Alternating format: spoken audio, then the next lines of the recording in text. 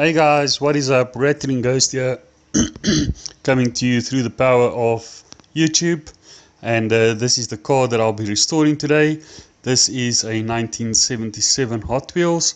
It is the 701 Hot Wheels that came out in 76. It's actually black color. The wheels are in very bad condition, and then someone went and painted over the windscreen as well. I think originally this windscreen was blue, but uh, I'll have to get the paint and the marker stripes off it. So for the car, I'm just gonna remove the existing paint and then polish it up a little bit. So as you can see there, this is the 77 Hot Wheels. It was made in Malaysia. Very nice model. And uh, this one I'll actually try and do in the metallic blue. It also came out in metallic blue with the 701 decals on the doors and the uh, rooftop itself. So I'm just going to drill out the posts. So after I've drilled out a little bit into the post itself, it's got the two posts, I'm just using a bigger drill bit and that is just to get rid of the mushroom that's still left on the base plate that keeps the car together. So this car was actually marked down below with a black marker. It's actually my wife's passed on brother's car. He had it back in the day, put his name on there with a black marker and I'll be restoring that for him. So hopefully it turns out as good as what she came out of the factory.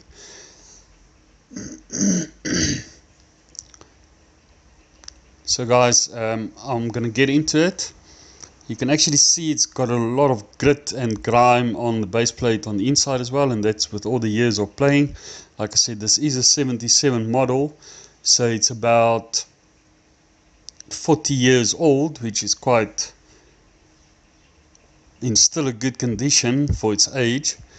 The interior is just black and it's also got a lot of dust and dirt inside and grit that I'll just basically clean out with a toothbrush and I'll use some soapy water as well to get rid of all that grime inside the uh, interior. So as for the windscreen, you can actually see that as well. It's very dirty, it's very grimy. You can't actually make out a color. Um, it looks like, I know it came out originally in a blue color, but this has almost got like a a grayish discoloration to it. And then someone went over with some golden color and then like I said the black marker as well that I'll have to remove. So there's actually a lot of work on this car but uh, I think when she's finished it's going to turn out looking quite good. So the original color on the inside was actually the black color. Like I said I'm not going to be doing this one in black. I'm going to be doing it in a metallic blue. And uh, I think it's going to look quite nice. So as you can see there if you can see it is the number 20019 and that was just a model number when it came out out of the Hot Wheels factory. And as it is 2019 I think it's fitting that we do this model and that we restore it to its former glory. So here I am just using a old toothbrush that's lying around. It's not my wife's or my kids but uh, I'm just cleaning it with some dishwashing liquid, some soapy water. On the inside of the seats itself, there was a lot of grit and dirt that was still sitting in there. I had to use some toothpicks and some dental picks to get that out and then cleaned it out nicely, but it, it turned out looking quite good. So for the window, I'm just using soapy water as well, just to get rid of all the dust and dirt that's inside that gathered over the last 40 years and then uh, I'll have to remove the black marker and I'll have to remove the paint from the windscreen just using some thinners or some turpentine. But as you can see it's actually got like a yellowish glow to it and I don't know if that's discoloration through the sun. I don't know where this model was standing all these years but uh, here she is finished. And as you can actually see now this is the back window the front window has got two cracks in it, but it's got like a discoloration of yellow, and that's why I say I know this also came out in the blue the blue window, and I think that's just the sun that burnt it over the last 40 years. and that's why it turned this yellowish color so for this one I don't know if I'm going to use this they actually painted over the window itself and that was to hide the cracks at the front of the window.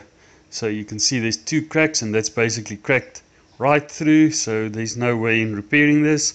I actually tried to cast a new window for this but it didn't turn out as good as what I thought. And I think that's why other guys also don't cast their own windows. It doesn't turn out the way that uh, we would like to have it.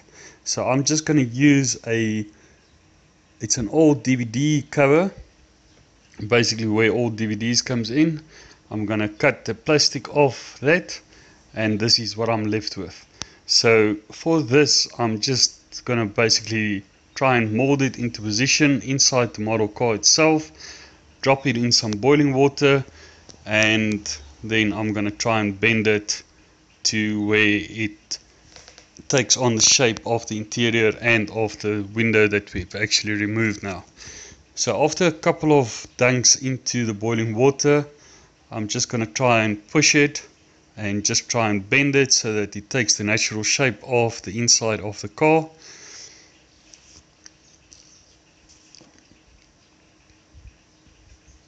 So this process actually took me quite a while. Um, it took me about three kettles of boiling water later.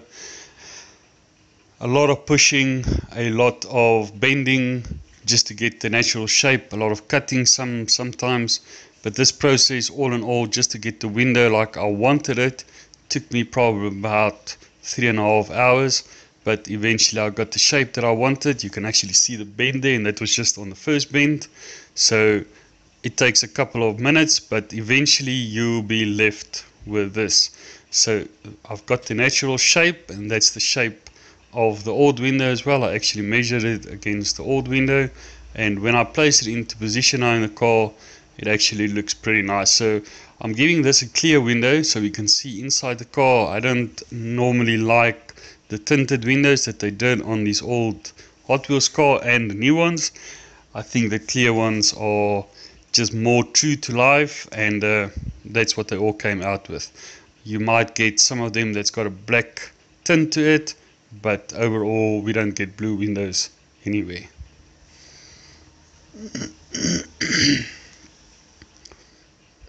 so there's some creases with the bending process and it actually turned white. So I actually redone a window and the second one that I did turned out actually much much better. So now I'm going to get into stripping the paint off the body of the car and after the stripping it actually turned out looking quite nice. I did try and sand it down. I used a thousand grit sandpaper and I also used 2000 grit sandpaper. And then I polished it up with my turtle wax polish to get this nice shine that is currently on the screen. So I actually sanded it down, but the details on it are so fine that they actually started disappearing like the door lines on the side and uh, I just stopped with the sanding down and just left it as is. I'm just scared that uh, you remove all the lines and then it's going to look horrible in the end when you paint it. So guys, just with a little bit of polish, the zinc plating that was on the car is actually quite in, in quite good condition. So I'm quite happy with how she turned out. Now on this one, I'm not going to prime it. I'm just going to spray basically over it like she's sitting over here. And then I just need to make a new light for the siren at the top of the roof, like siren light, the blue light. And that I basically just used one of my old scale model kits that I had. Basically the parts where it came in or where it's in its grid. I just used the sides of it, which is also rounded. And then I left it in the or I just pushed it in and I cut it down to size. So there is a little bit of scratches on it. I eventually filled it up with a bit of poly cement and uh, I did scrape it down a bit. And then I think the final result after I painted it came out looking quite amazing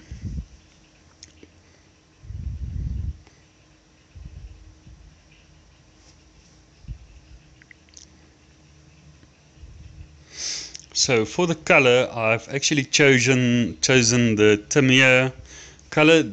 It actually says there on the bottle it's for plastics, but I must admit, after I spray painted it with this fine Tamiya color, it actually turned out a beaut, and it's exactly the color that I was looking for. So I'll be not priming this. I'll just be spraying it as is with a zinc plating on there, and I think it gave a very nice effect after I sprayed it down with this color.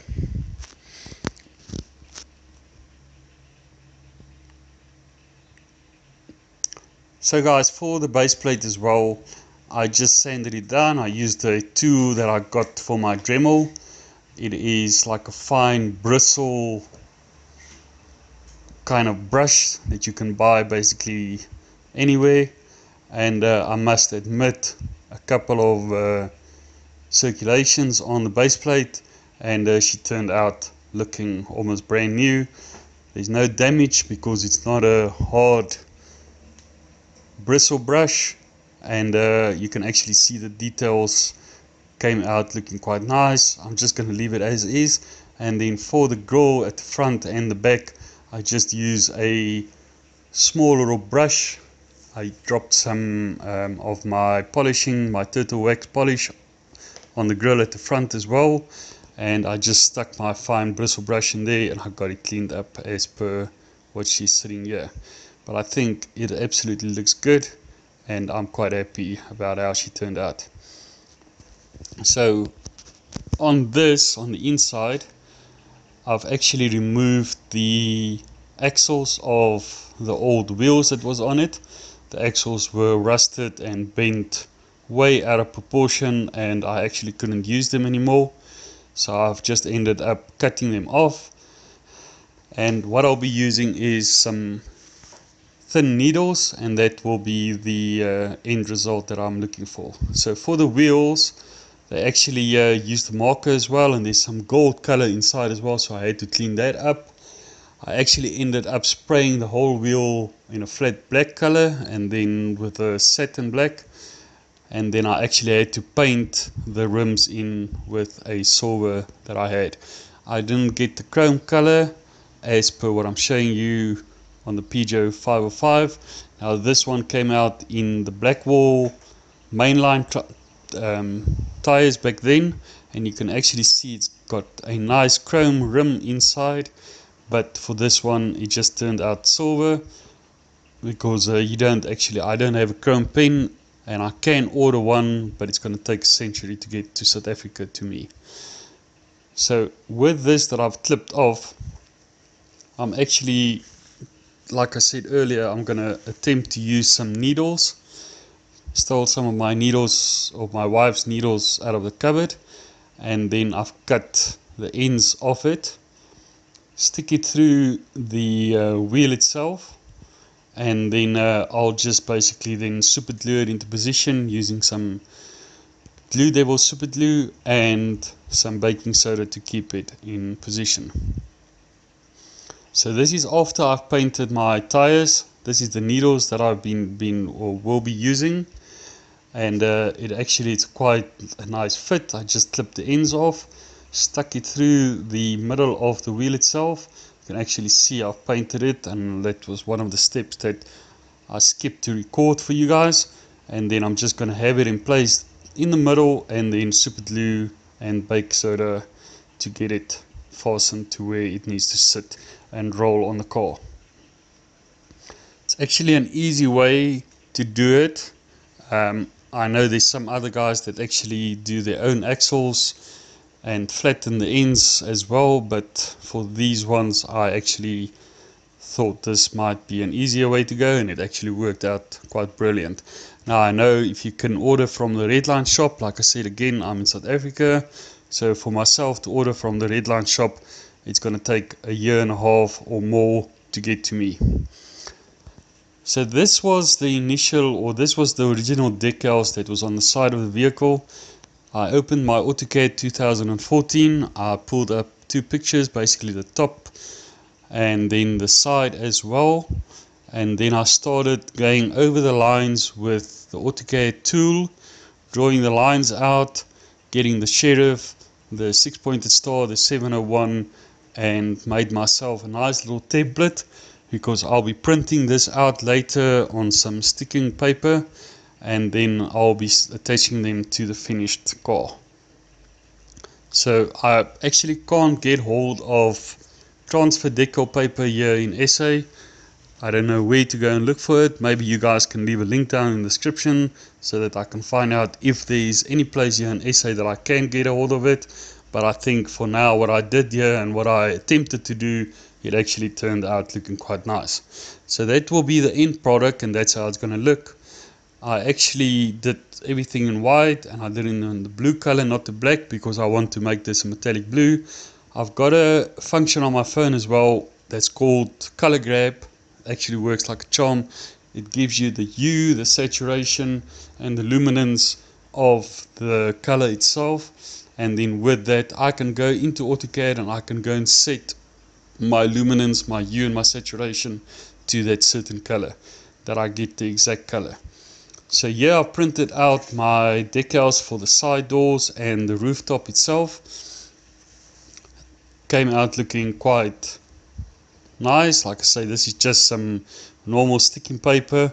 For the first sample, I actually used a, a bright yellow color, but you can actually see there for the roof de decal, it didn't turn out looking quite nice. So then I, with the lower ones, I actually used like a, yellow orangey color, almost like a tan color. And I think it actually turned out looking much, much better than the first one with a bright yellow color. So these ones I'll just basically cut out with some scissors. I'm going to stick them onto the side of the doors and then on top of the roof. And uh, then I'll clear coat over it and hopefully it turns out looking as good as what I think it's going to turn out.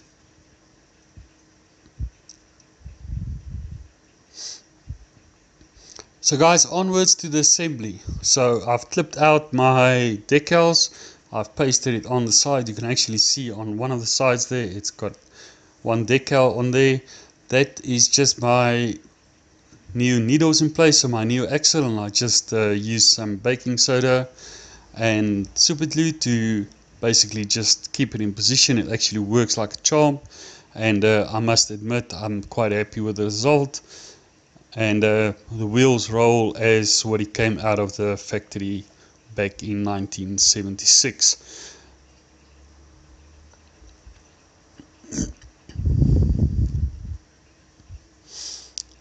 so for the interior nothing else was done.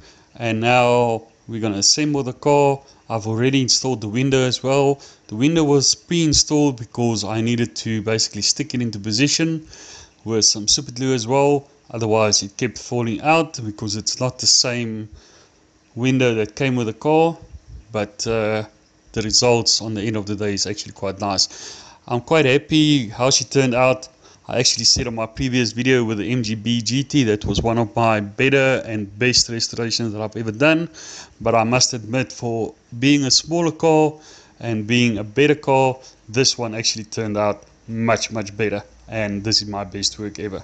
So guys please if you like this video if you want to see more of this then hit that subscribe button like my channel leave a nice comment and guys please share it. So guys onward to the assembly. So with my window already stuck in place there you can actually see I'm trying to push down on the front side there.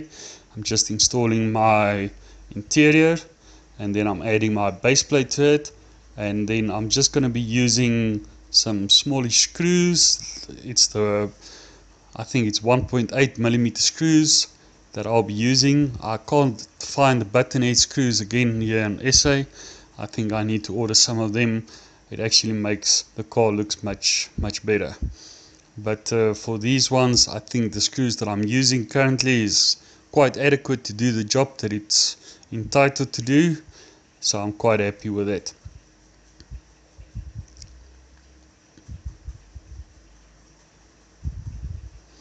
and now for the back one